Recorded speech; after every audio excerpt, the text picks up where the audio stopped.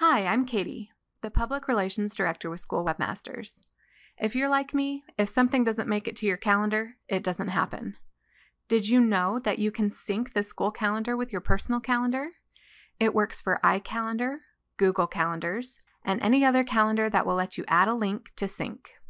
Let me show you how it works with Google Calendars. First, navigate to your school calendar. If you don't want to sync all the school calendars, uncheck the boxes and only select for the schools you are interested in. Then select Subscribe in the upper right corner. From the window that pops up, select the iCalendar Subscribe option. You can see there are two options here subscribe to all calendar events or subscribe to events matching these criteria, and only the schools I selected are showing here. Right click over the address and select Copy Link Address.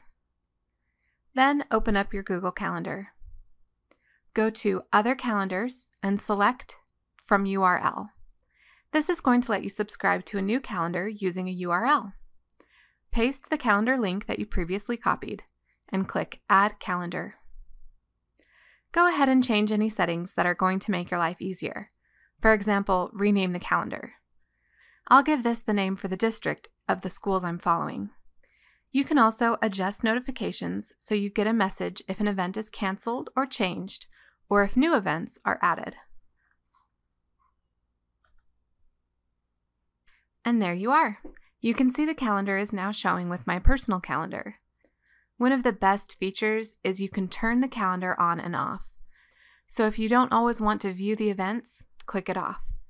And it's always there to click back on when you need to see the events.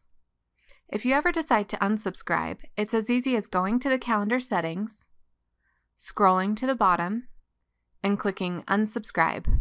Confirm by clicking Remove Calendar.